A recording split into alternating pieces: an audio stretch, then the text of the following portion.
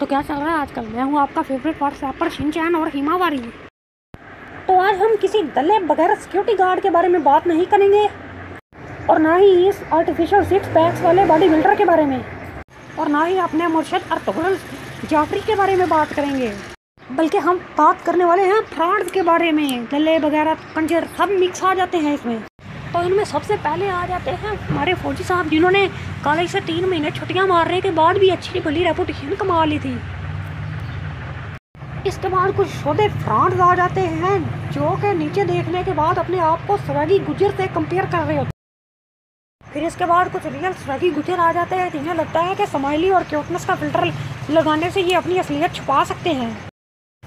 इसके बाद हमारे इंटरनेशनल सेलिब्रिटी आ जाते हैं, जो कि डीपी तो नहीं लगाते, लेकिन आई लव माई पाकिस्तान के अबाउट में ज़रूर लिखते हैं।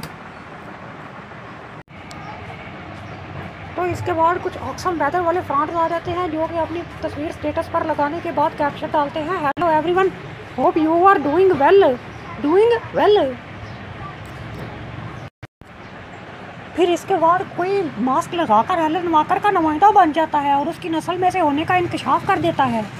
और फिर आई एम फीलिंग सैड का कैप्शन लगाकर आई एम फेटेड का गाना सुनते रहते हैं। इसके बाद एक कोरियन चमचा आ जाता है जो चीनियों की तस्वीरें स्टेटस पर लगाकर उनसे इंस्पायरेशन हासिल करता रहता है और खुद को बीटीएस आर्मी का मखलूक कहता है।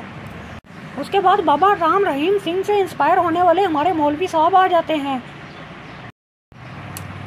ये भी किसी से कम नहीं है। इनके स्टेटस पर शायरी के अलावा कुछ होता ही नहीं है और सबसे ज़्यादा स्टेटस शायरी हमें तो अपनों में लूटा वाली लगाई होती है। तो बस भाई इनके बारे में और मैं ज़्यादा कुछ नहीं बोल सकता। इजाज़त दें, शुक्रिया।